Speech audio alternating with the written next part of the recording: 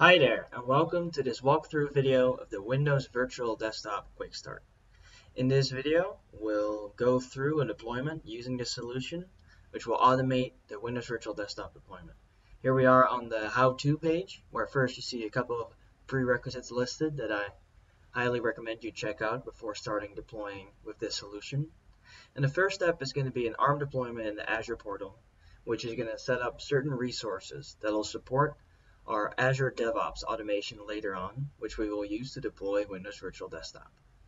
Here in the Azure portal, we're going to be asked for some limited user input that I'm filling out right now. Uh, I'm going to deploy for a native AD environment, and right now I'm entering my Azure credentials. And the, the next input is actually going to be very important, uh, the tenant admin domain join UPN. This account is going to be used to domain join the WVD virtual machines. So you got to make sure to enter these credentials correctly. And once we finish that up, we can go ahead and purchase this, which will take us to uh, ARM deployment. And we're just going to set up some resources like a storage account, automation account, and we're going to create an Azure DevOps organization and project. And the automation in that account will eventually deploy our Windows Virtual Desktop resources for us. I'm just going to go ahead and speed this up.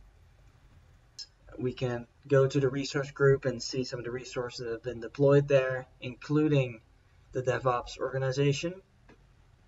Our next step then is to go ahead and navigate to dev.azure.com where we will find our newly created organization, project, and already running pipeline.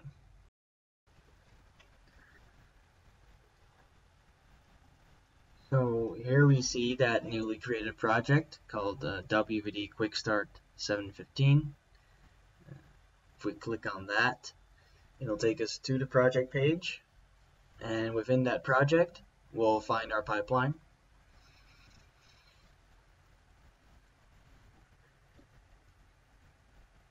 As you can see, the pipeline is already running.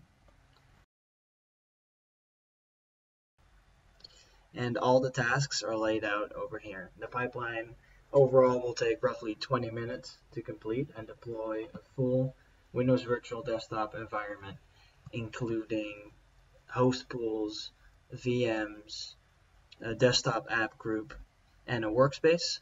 And at the end of this pipeline, a user can log into the web client and access their VM immediately, including uh, a full FSLogix as you would expect, you can follow along with the whole deployment in the Azure portal as well. So right now it's deploying the virtual machines. So if we navigate to the portal, we can actually see this deployment as it's going.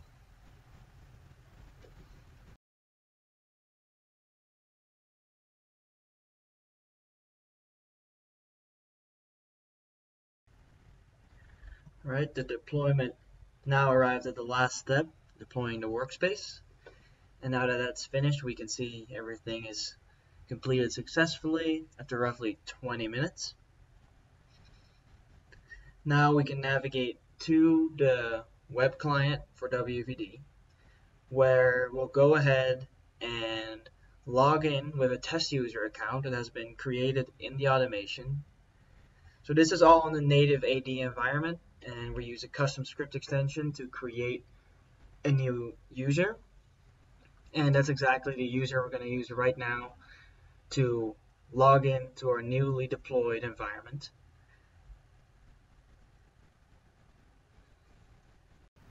And now, as expected, we see the session desktop right in our test user environment. And we're going to go ahead and connect to it.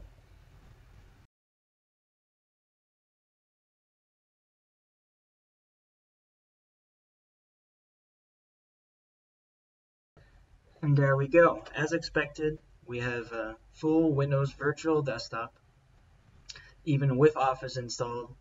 Uh, so for example, we have access to Word. But just now, just to check that FSLogix was correctly configured, we're going to go into the portal um, to the WVD management resource group that was created. where we'll find the profile storage account. If we then go into the file shares, uh, into the WVD profiles, we'll actually see that our user logon created a container in the file share, just like you would expect with FSLogix. That's where I'll end this walkthrough video today. I hope you found it useful, and for more information on the WVD Quick Start, please check out wvdquickstart.com.